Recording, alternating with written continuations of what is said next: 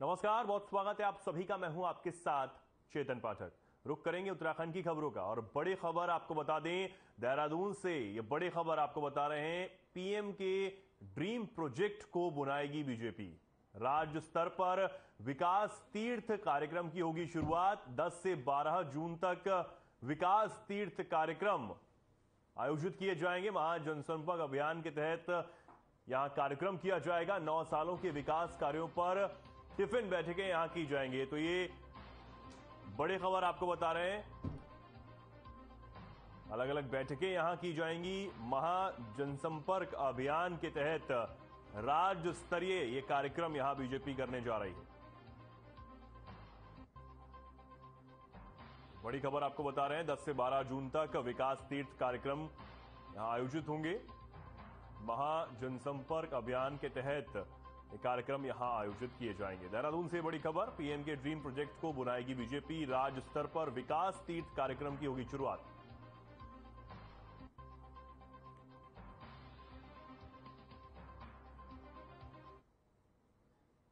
आगे बढ़ते हैं, रुड़की के रामनगर स्थित रामलीला मैदान में सरकार जनता के द्वार कार्यक्रम का आयोजन किया गया, जिसके अंतर्गत कैबिनेट मंत्री सतपाल महाराज ने कार्यक्रम में शिरकत की। साथ ही कई योजनाओं का शिलान्यास भी इस दौरान किया गया। इस दौरान कैबिनेट मंत्री और अधिकारियों ने जन सुनवाई कार्यक्रम में फरियादियों की समस्याओं को भी सुना और बहुत सी समस्याओं का मौके पर ही निस्तारण किया गया।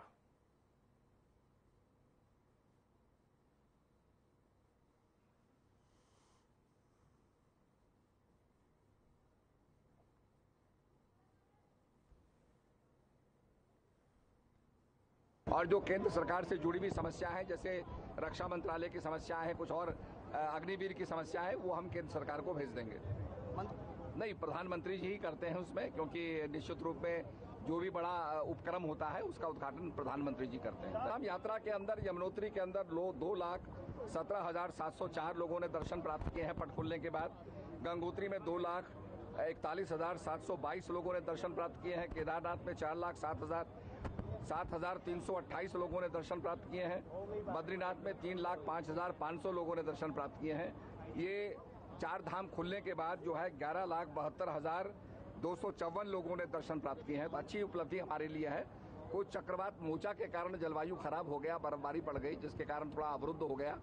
मंत्री उसमें कुछ नहीं कर सकता है, पर अब फिर सामान्य हो गया है और हमारी जो है हेमकुंड साहब की यात्रा भी अब शुरू हो गई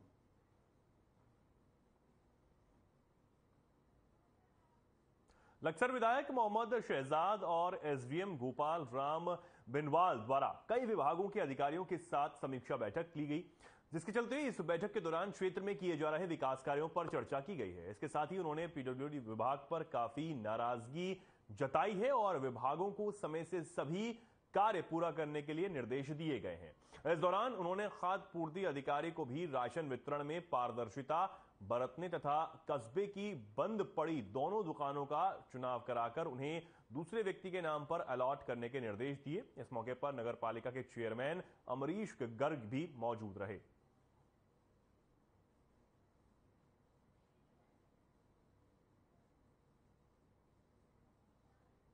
अक्सर क्षेत्र के माननीय विधायक जी के द्वारा विभागीय अधिकारियों के साथ मेरी उपस्थिति में एक यहाँ पर मीटिंग का आयोजन किए जाने के लिए निर्देशित किया गया था।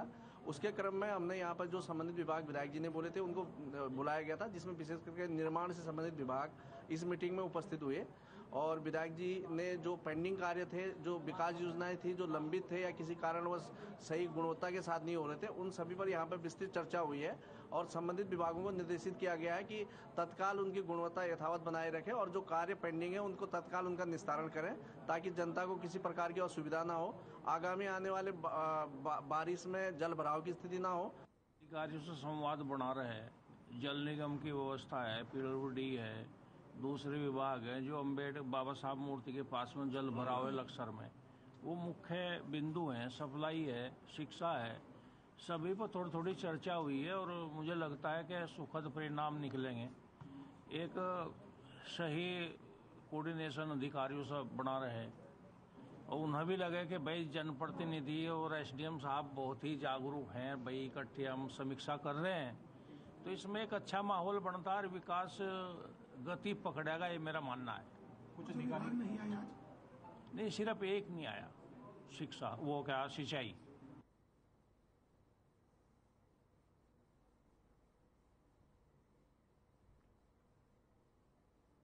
उत्तराखंड में इन दिनों अवैध अतिक्रमण के खिलाफ कार्रवाई जोरों शोरों से चल रही है। इसी क्रम में मुख्यमंत्री पुष्कर सिंह धामी ने सभी विभागों को इस बाबत निर्देश दिए थे कि अपनी जमीनों पर हुए अतिक्रमण को हटाने के साथ ही अपनी जमीनों को सुरक्षित रखें। देहरादून नगर निगम भी अपनी जमीनों पर हुए अतिक्रमण को हटाने की कवायद में जुट गया है। बता दें कि राज्य के तमाम विभाग और निगम ऐसे हैं जिनके पास एक बड़ी संख्या में लैंड बैंक मौजूद है। ऐसे में अपनी जमीनों पर हुए अतिक्रमण को हटाने के लिए सरकार पहले ही सबको निर्देश दे चुकी है। लिहाजा देहरादून नगर निगम भी अब अपनी जमीनों को कब्जा मुक्त किए जाने के साथ ही अपने लैंड बैंक को और मज़बूत करने की कवायद में जुट गया है।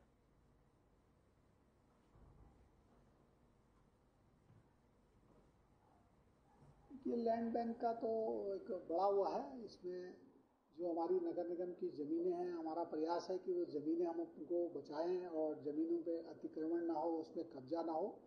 और जब जब कहीं से शिकायत आती है तो नगर निगम की टीम जाके उसको अतिक्रमण को ध्वस्त भी करती है और जो कार्रवाई हमें करनी चाहिए कार्रवाई भी हम करते हैं।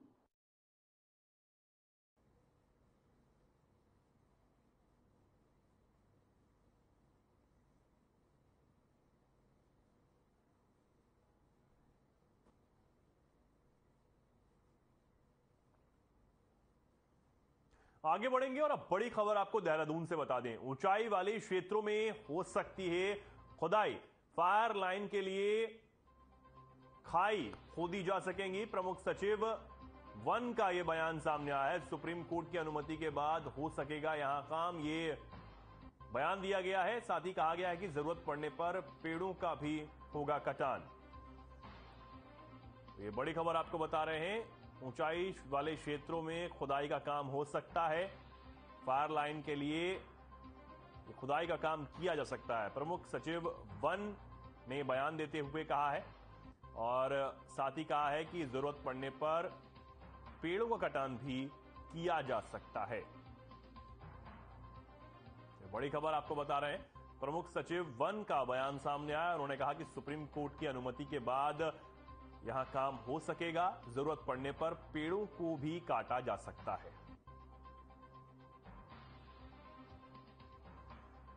बड़ी खबर आपको बता रहे हैं। प्रमुख सचिव वन का बयान सामने आया कि ऊंचाई वाले क्षेत्रों में खुदाई के लिए जो काम है, वो किया जाएगा।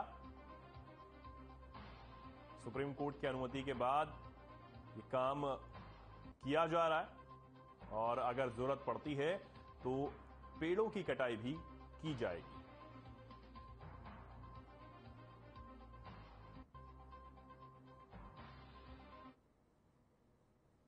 कांग्रेस के प्रदेश अध्यक्ष करण महारा को बीजेपी से डर लगता है। ऐसा हम नहीं कह रहे, प्रदेश अध्यक्ष ने खुद ये बात कही है। उन्होंने कहा है कि बीजेपी से उनको डर लगता है। उन्होंने कहा कि बीजेपी जो कहती है, उसका उल्टा करती है। इसलिए मैं डरा हुआ हूँ।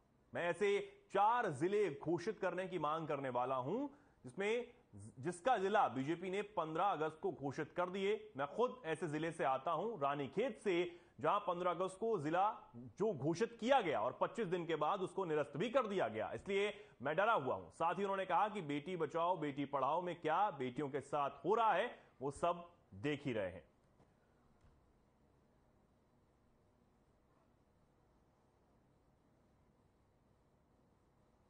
ज़मीन में उतर जाएगा तब होगा हम तो चार आ, ऐसे ज़िले की मांग करने वाले लोगों में से हैं जिनके ज़िले घोषित हो गए थे 15 अगस्त को।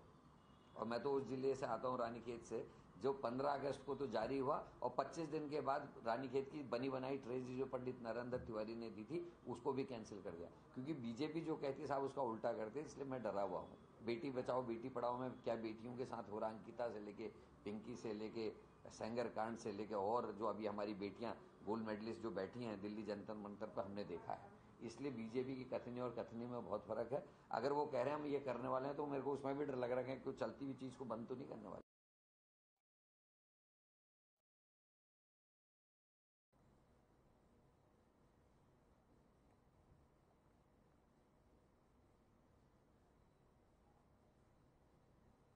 पूर्व मुख्यमंत्री हरीश रावत रुड़की के ढडेरा में पहुँची, जहाँ कांग्रेस कार्यकर्ताओं ने उनका जोरदार स्वागत किया।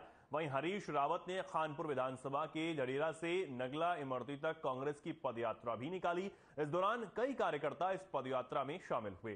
पूर्व मुख्यमंत्री हरीश रावत ने कहा कि पूरे प्रदेश में वो इस यात्रा को निकाल रहे हैं और 22 मई को मसूरी में भी यात्रा निकाली जाएगी। वहीं हरीश रावत ने 2000 रुपए के नोट वापस करने की बात पर कहा कि बड़ा दुर्भाग्यपूर्ण ये है और जो दावे बीजेपी सरकार ने किए हैं, वो सब ध्वस्त हो गए हैं।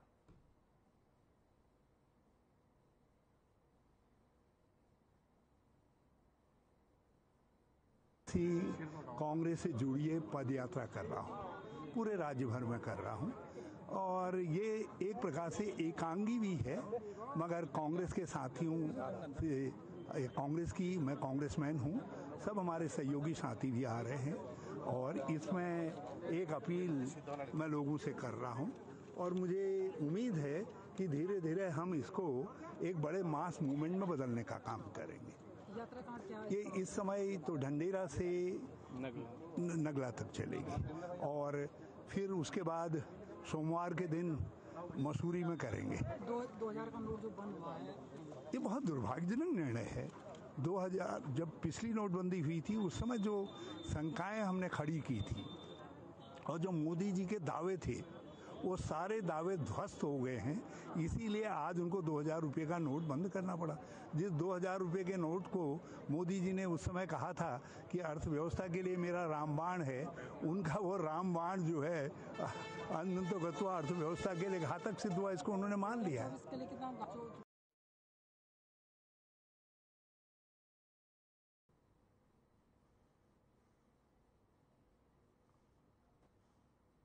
अब बड़ी खबर, देहरादून से। सेब उत्पादन के लिए रोड मैप तैयार। सेब उत्पादन में लंबी छलांग लगाने के लिए रोड मैप तैयार कर लिया गया है। 2030 तक सेब उत्पादन तीन लाख मैट्रिक टन पहुँचने की योजना यहाँ बनाई गई है। सेब उत्पादन वाले क्षेत्रों में लगेंगे कोल्ड स्टोरेज अभी बासठ हज़ार मीट्रिक टन सेब का उत्पादन हो रहा है। छब्बीस हज़ार हेक्टेयर में उत्पादन किया जा रहा है। तो ये बड़ी खबर आपको बता रहे हैं, एक लंबी छलांग सेब उत्पादन क्षेत्र में लगाने के लिए रोड मैप तैयार कर लिया गया है। अभी बासठ हज़ार मेट्रिक टन सेब का उत्पादन हो रहा है। ये बड़ी खबर आपको बता रहे हैं, सेब उत्पादन में लंबी छलांग लगाने के लिए रोड मैप तैयार कर लिया गया है। 2030 तक सेब उत्पादन में तीन लाख मेट्रिक टन जाने की, जाने के लिए जो ये तैयारी है रोड मैप है, उसे तैयार कर लिया गया है।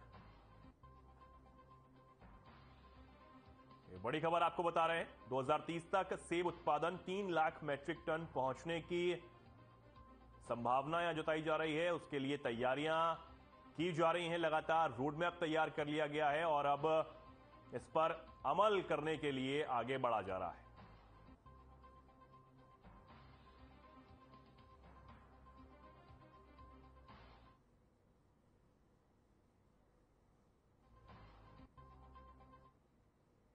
धर्मनगरी में देर रात गौ तस्करों और पुलिस के बीच में मुठभेड़ हो गई।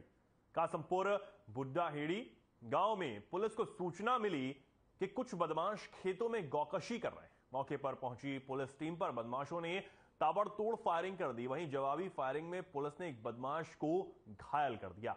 बदमाश को गोली लगता देख उसका साथी वहाँ से फरार हो गया। फरार बदमाशों की तलाश में पूरे ज़िले में सघन चेकिंग अभियान चलाया जा रहा है और घायल बदमाश को जिला अस्पताल में इलाज के लिए भर्ती करवाया गया है, जहाँ से उसे रुड़की अस्पताल रेफर कर दिया गया। गिरफ़्तार आरोपी का नाम जब्बार है। उसके खिलाफ कई थानों में गौकशी और पुलिस के साथ मारपीट के कई मुकदमे दर्ज हैं। एसएसपी अजय सिंह ने देर रात ही मौके पर पहुंचकर घटनास्थल का जायजा लिया।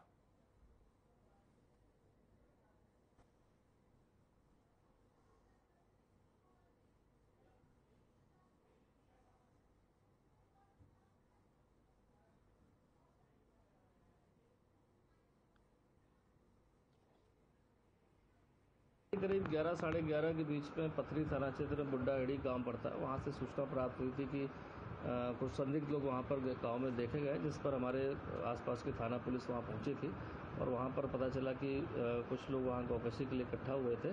तो जब पुलिस ने उनकी घेराबंदी करी तो वहाँ पर उनको पकड़ने के दौरान उसमें से एक फायर किया गया जवाबी फायरिंग में भी एक जो उसमें बदमाश था उसको गोली लगी। इसका नाम बाद में पता चला जब्बार है। इसके पूर्व में भी गौकशी के काफ़ी मुकदमे हैं और पुलिस के साथ मारपीट और उसके भी मुकदमे दर्ज है। बाकी अभी भी जानकारी की जा रही है। उसके साथ भी कुछ लोग बताए गए थे जो फरार है, जिसके लिए हमारी खानपुर और आसपास लक्सर की पुलिस टीम कॉम्बिंग में अधिकारियों के साथ लगी हुई है।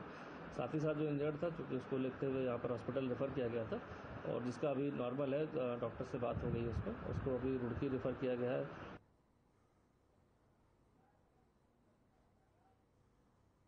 बड़ी खबर, देहरादून से। जून से फ़ील्ड में उतरेंगे नौकरशाह।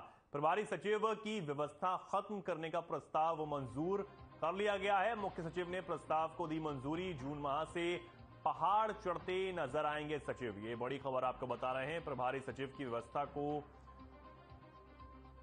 यहाँ मंजूरी मिली है। देहरादून से इस वक्त की ये बड़ी खबर। जून से फ़ील्ड में उतरेंगे नौकरशाह। प्रभारी सचिव की व्यवस्था खत्म करने का प्रस्ताव, मंजूर। मुख्य सचिव ने प्रस्ताव को मंजूरी दी है। जून माह से पहाड़ चढ़ते नज़र आएँगे सचिव। एक बड़ी खबर आपको बता रहे हैं।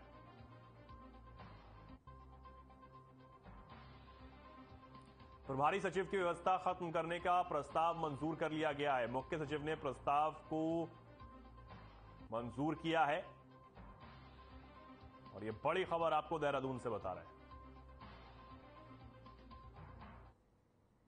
उत्तराखंड के काशीपुर की सीमा क्षेत्र से सटे उत्तर प्रदेश के ठाकुरद्वार क्षेत्र में लंबे समय से फर्जी डॉक्टरों और फर्जी लैबों का बोलबाला था। आए दिन काशीपुर में उत्तर प्रदेश के बिगड़े केसों के मामले सामने आ रहे थे, जिसकी रोकथाम के लिए लगातार उत्तर प्रदेश के अधिकारी कार्रवाई करते हुए नज़र भी आ रहे थे। लेकिन उसके बाद भी उन पर अंकुश लगाना प्रशासन के लिए लोहे के चने चबाने जैसा हो रहा था, क्योंकि ठाकुरद्वार क्षेत्र में ना तो कोई डिग्री होल्डर डॉक्टर था और ना ही कोई रजिस्टर्ड लैब। मजबूरन लोगों को झोलाछाप डॉक्टरों के पास ही जाना पड़ता था। उसी को लेकर बीजेपी के वरिष्ठ नेता और समाजसेवी doctor Mohammad Hasan Noori, doctor MP Singh, doctor Bhupendra Singh ने संयुक्त से ठाकुर द्वार की सीमाओं के अंदर Jeevan Rekha city scan and diagnostic centre स्थापित किया, जिसका शुभारंभ मुरादाबाद ज़िले के CMO doctor M C Garg ने किया और बताया कि ठाकुरद्वार की जनता के लिए एक अच्छी ये सौगात है।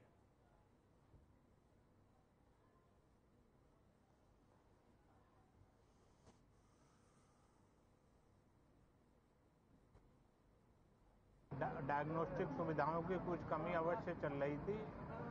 हमारे अस्पताल में भी एक्सरे और पैथोलॉजी की जांचें हो जाती हैं, मगर हमारे डॉक्टर एम पी सिंह साहब ने सीटी स्कैन लगाया है। इससे ठाकुर द्वारा की जनता को काफ़ी लाभ होगा।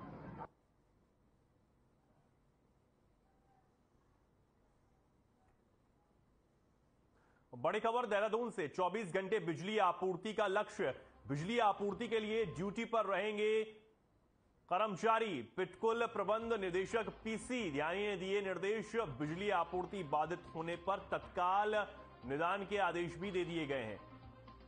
एक बड़ी खबर आपको बता रहे हैं। बिजली आपूर्ति के लिए ड्यूटी पर तैनात रहेंगे कर्मचारी। बिजली आपूर्ति के लिए कोई भी कोताही यहाँ नहीं बरती जाएगी। 24 घंटे बिजली आपूर्ति का लक्ष्य है। बिजली आपूर्ति के लिए ड्यूटी पर तैनात रहेंगे कर्मी। बिल्कुल, प्रबंध निदेशक ने ये आदेश जारी किया है। 24 घंटे बिजली आपूर्ति का लक्ष्य यहाँ रखा गया है। बिजली आपूर्ति के लिए ड्यूटी पर कर्मी यहाँ तैनात रहेंगे। पिटकुल प्रबंध निदेशक पीसी दयानी ने यह निर्देश जारी किए हैं। बिजली आपूर्ति बाधित नहीं होने पाए, इसके आदेश यहाँ दिए गए हैं।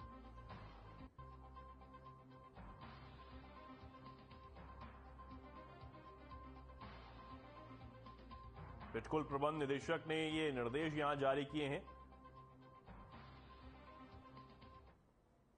बीती 16 मई को घर से चारा काटने गई ग्राम लक्ष्मीपुर लच्छी निवासी महिला का शव एक आम के बाग में लटका हुआ पाया गया। जिस पर एसपी क्राइम चंद्रशेखर ने अपर पुलिस अधीक्षक कार्यालय में घटना का खुलासा करते हुए बताया कि महिला जंगल में चारा काटने गई, तभी मनोज सिंह वहाँ पर बैठा हुआ नशा कर रहा था और अकेली महिला को आता देख उसकी नीयत बिगड़ गई। और विरोध करने पर उसने उसकी धारदार हथियार से हत्या कर शव को उसकी साड़ी से बांधकर एक पेड़ से लटका दिया, जिससे हत्या आत्महत्या लगे। पुलिस ने आरोपी को गिरफ़्तार कर न्यायालय के सामने पेश किया है। पुलिस ने इस ब्लाइंड मर्डर में कई पुलिस टीमों को अलग अलग लगाया हुआ था, जिसमें एसओजी टीम के साथ अन्य पुलिस को लगाया गया था।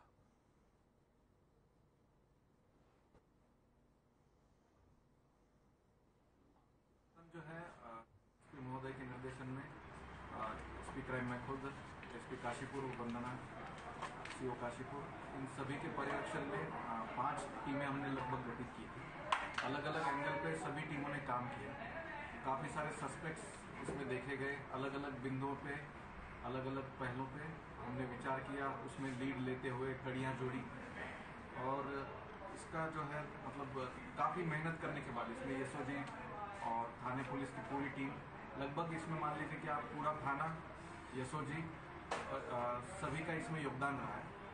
अलग अलग दिशाओं में सभी ने काम किया है और बहुत मेहनत के बाद, काफ़ी सस्पेक्ट्स को खोजने के बाद टेक्निकल डिटेल्स मैनुअल इनपुट सारी चीज़ें देखने के बाद हमें इसमें एक्चुअल जो कल्प्रिट है, इस पर, इस तक हम पहुँच पाए। ये मनोज सिंह है ग्राम धनौरी, प्रतापपुर का रहने वाला, ये लगभग 20-22 साल का व्यक्ति है, जिसने कृत्य को अंजाम दिया था। इसमें मोटिव की तलाश जब हम ले रहे थे तो मोटिव एकदम क्लियर नहीं था। इसलिए सस्पेक्ट को ढूंढना एक बहुत बड़ा मुश्किल टास्क था।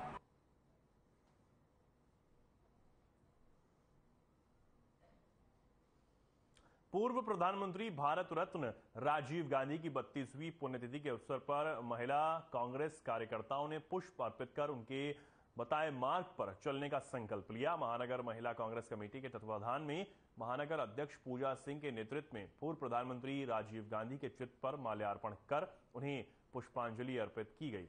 इस अवसर पर पीसीसी सदस्य और महिला कांग्रेस कमेटी की वरिष्ठ प्रदेश उपाध्यक्ष अलका पाल ने राजीव गांधी को सूचना क्रांति का जनक कहा। उन्होंने देश के अंदर 33 प्रतिशत महिलाओं को आरक्षण देने की बात सर्वप्रथम रखी। 18 साल के युवाओं को वोट देने का अधिकार हो या फिर पंचायत राज व्यवस्था को मज़बूत करने की बात हो, स्वर्गीय राजीव गांधी की सोच दूरगामी सोच थी। महिला कांग्रेस की महानगर अध्यक्ष पूजा सिंह ने स्वर्गीय राजीव गांधी पर विचार व्यक्त करते हुए कहा कि आज की पीढ़ी को स्वर्गीय राजीव गांधी के जीवन से प्रेरणा लेने की आवश्यकता है।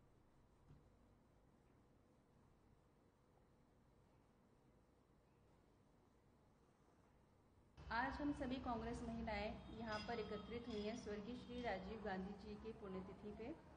आज हम सभी महिलाएँ उन्हें श्रद्धा सुमन अर्पित करती हैं। राजीव गांधी जी, हमारे देश की भारत रत्न सम्मानित, भारत रत्न सम्मानित महापुरुष हैं। उन्होंने हमारे देश में महिलाओं के को के लिए बहुत बड़ा योगदान दिया था। महिला सशक्तिकरण में उनका बहुत बड़ा योगदान था। महिलाओं पर उन्होंने बहुत सारी मुहिमें चलाई। और राजीव गांधी जी ने यहाँ पर संचार का जनक कहे गए हैं यहाँ पर देश के। और देश को आगे बढ़ाने में, महिलाओं को मज़बूत करने में उनका बहुत बड़ा योगदान रहा है और इसे सभी महिलाएँ आजीवन कभी नहीं भूलेंगी।